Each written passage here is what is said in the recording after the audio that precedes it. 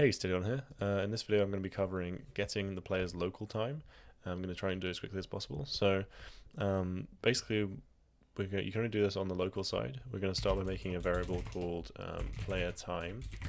Essentially, what we're going to do here is we're going to take the player's um, timestamp, which is which you get from os.time. That's the local time of the player, um, and you're going to use this format to get the time. So os.date converts um, the timestamp into a readable date.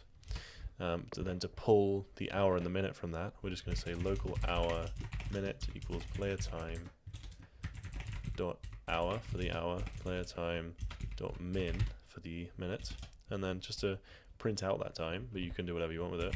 We're just going to say print hour dot dot for the concatenation, um, colon minute, and then obviously we can just test this out.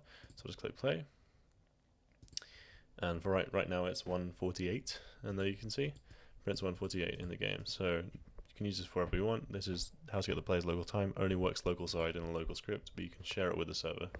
Thanks for watching.